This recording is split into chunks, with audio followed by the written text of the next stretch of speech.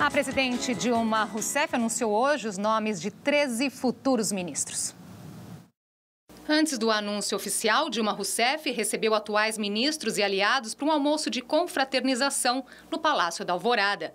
Depois, anunciou os novos ministros.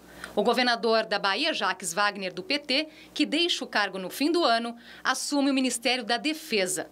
O PMDB, principal partido aliado, ganha seis ministérios. Os deputados Edinho Araújo vai para a Secretaria de Portos e Eliseu Padilha para a Secretaria de Aviação Civil. Os senadores Eduardo Braga para o Ministério das Minas e Energia e Cátia Abreu foi confirmada no Ministério da Agricultura, Pecuária e Abastecimento. Helder Barbalho, candidato derrotado na disputa ao governo do Pará, assume a Secretaria de Aquicultura e Pesca. Vinícius Lages foi mantido no Ministério do Turismo. Aldo Rebelo, do PCdoB, que estava no esporte, vai para Ciência, Tecnologia e Inovação. No lugar dele, entra Jorge Wilton, do PRB. O atual governador do Ceará, Cid Gomes, que deixa o cargo no fim do ano, vai ocupar o Ministério da Educação. E o ex-prefeito de São Paulo, derrotado na corrida ao Senado, Gilberto Kassab, vai para o Ministério das Cidades. Nilma Lino Gomes vai ocupar a Secretaria de Políticas de Promoção da Igualdade Racial. E Valdir Simão assume a Controladoria Geral da União. A presidente Dilma indicou até agora 17 ministros que vão compor o futuro governo. Os demais nomes deverão ser anunciados na próxima segunda-feira, segundo informou o Palácio do Planalto. Ela tem muita gente comentando a nomeação do, dos ministros. Em linhas gerais, os comentários são os seguintes: era esperado eh, ministros mais técnicos, com perfil mais técnico. Nós estamos vendo a nomeação de muitos políticos, né? Muitos deles que perderam as, as eleições. As eleições. Isso, mas não só. É, note que o Norte e o Nordeste está bastante contemplado. Você veja que Jacques Wagner é da Bahia, Helder Barbalho é do Pará, Cátia Abreu é Centro-Oeste, Eduardo Braga é do Norte, de, é do Amazonas. Ou seja, a composição, o loteamento, melhor palavra, o loteamento na hora de compor o governo atende os interesses partidários, porque o governo precisa governar. O presidencialismo de coalizão pressupõe que você, se não der os cargos, você não governa, porque não consegue os votos no Congresso Nacional. Esse loteamento, que não passa de um fisiologismo, nada mais é do que a mãe da cleptocracia. Cleptocracia é o que? É o governo também governado por ladrões e loteamento de cargos públicos no Brasil possibilita, fomenta, incentiva essa ladroagem geral dos partidos políticos.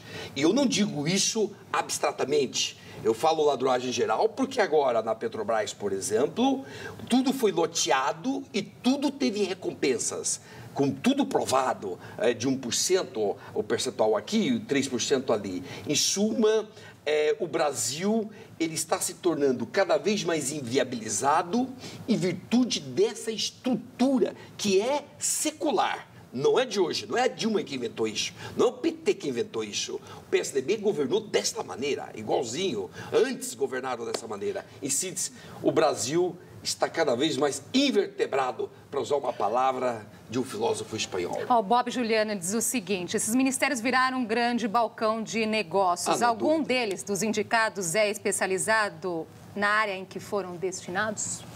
Bom, a Cátia Abreu, é, é, ela foi é presidente da Confederação Nacional da Agricultura e o Monteiro, que está indo para o desenvolvimento, tam, também é da, da indústria. Agora, esse ano, 2014, foi, assim, só complementando o que ele falou, foi o ano que você teve o maior déficit externo da história, o maior déficit fiscal desde 1997, em valores absolutos, o maior déficit, mas eu acho que tem um déficit mais importante, déficit de ambição. O Brasil está tá crescendo menos do que o resto do mundo. Esse povo não quer crescer. Quer dizer, não, assim, quando alguém fala para mim qual que foi o maior erro da política econômica brasileira, eu não acho que é esse, Luiz Flávio. Foi ter mudado a capital eh, do Brasil para Brasília. Estão isolados, estão repetindo aquele experimento que você fez na França, quando o Luiz XIII, como tinha muito problema, mudou a capital para Versailles. O que, que aconteceu? Começaram a ficar tão isolados, tem uma frase... E esse, esse número de ministérios? É, um... é impressionante, 39 ministérios, imagine isso. Essa coisa de quinto mundo. Você não precisa de tantos ministérios, a 15, 20 basta, precisa de competência, gente que entenda. Por exemplo, ela deu uma bola dentro na parte de economia, aí o Troster, que é economista, pode até observar. Deu uma bola dentro porque bota alguém que entenda, um técnico ali. Mas no resto, é tudo é, divisão de poderes para dividir o orçamento público. Né? Tanto que o PMDB rejeitou vários ministérios porque não tinha dinheiro no ministério. É, e se você põe é, que é o Levi, que é, especificamente, que ele está se devendo, que é um, assim, o melhor técnico que você podia... De um mercado. Dos melhores, uhum. é, de mer... não, é, não é o problema de ser de mercado, não de mercado. Ele tem experiência do governo, mas tem uma boa formação acadêmica, tem um doutorado numa universidade de primeira linha lá fora. Trabalho, quer dizer, não, não é porque é de mercado, ele podia ser é, só de empresa. Agora, você põe ele, quer dizer, é como se você colocasse um Messi num time de futebol e depois colocasse um monte de perna de pau em volta para jogar junto, né? Não vai dar certo. Não vai dar certo. E o ministro de Minas e Energia, Edson Lobão, disse que sem as térmicas o Brasil pode enfrentar problemas de abastecimento e o prejuízo pode sobrar para o consumidor.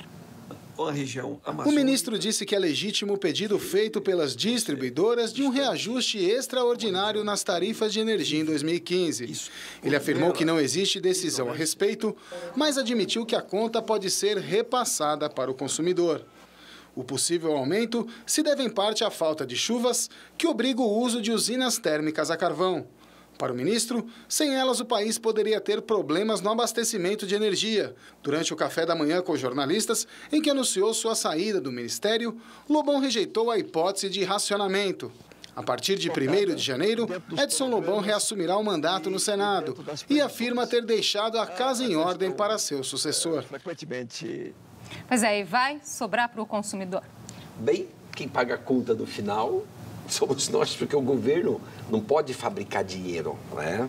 Por conta dele. Quem paga a conta no final somos nós. Agora, Edson Lobão, ministro da Minas e Energia, volta para o Senado. É um dos 28 já citados na corrupção da Petrobras. O nome dele está lá, é um dos 28 nomes.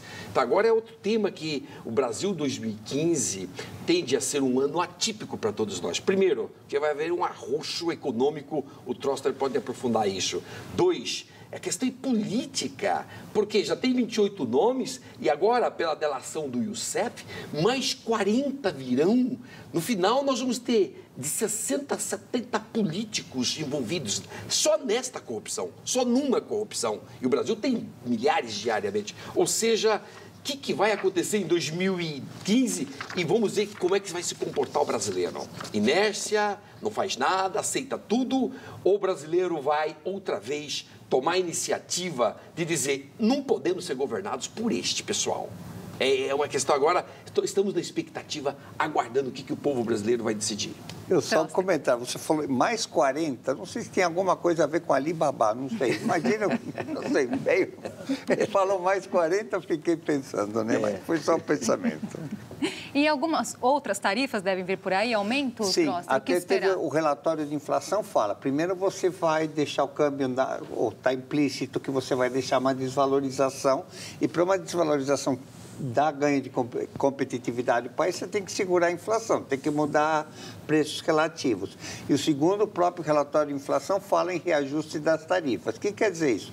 Todo mundo vai, ficar, vai ter menos dinheiro, quer dizer, vai gastar mais dinheiro com luz, não só por conta das térmicas, mas porque você já tem uma defasagem, você vai ter dólar mais caro. Então, todos os bens comercializáveis que estão crescendo abaixo da inflação vão subir. Então, isso inclui desde alguns, algumas commodities, como arroz, trigo, esse tipo de coisa, como todos eletrônicos. Então, em síntese, todo mundo um pouquinho mais é, pobre. Os gastos do governo crescendo mais rapidamente do que o PIB. Então, quem fez concurso público e passou, ou foi eleito, ou está num partido, está muito bem. É, vai ser um ano difícil, em síntese. Para os outros, né? Para quem não passou no concurso. A pessoa está comentando ainda a questão da nomeação do, dos ministros, porque a presidente Dilma pediu ao Ministério Público para dizer sobre os ministros que foram... Foi. Foi. Ah. Foram escolhidos e que é. estariam envolvidos que na erro. Operação Lava Jato. Que erro. O procurador da República diz que não, porque essa questão é sigilosa. Claro, claro a lei é clara. Está lá no artigo 4 da Lei do Crime Organizado. Feita a delação, vai a homologação do ministro ou do juiz, homologada a delação, fica tudo sigiloso, diz a lei, até que o procurador-geral da República, ou um promotor, ou um procurador em primeira instância, ofereça a denúncia. Enquanto não colocar denúncia ou pedir abertura de inquérito, não pode divulgar nomes. Então a Dilma é mal assessorada, em alguns momentos ela fala cada coisa que não tem pé nem cabeça do ponto de vista jurídico. Ela acerta em algumas coisas. Por exemplo, no discurso da diplomação dela, vou ser dura contra a corrupção, a corrupção tem que ser combatida, mas de repente dá essas pisadas na bola. Falta orientação para nossa presidenta, jurídica, muito. Ela errou. Porque essa questão ponto. já era esperada, né, Luiz Flávio, não dizer. O procurador-geral, não vou falar Claro, porque se ele falar, ele está cometendo um crime de responsabilidade. Está violando a lei. Não pode violar a lei. Porque fica essa cultura. A lei é fácil ser violada no Brasil. Por quê? Porque tem esses maus exemplos de uma presidenta falar algo que a lei não permite. Se a lei não permite, observe-se a lei.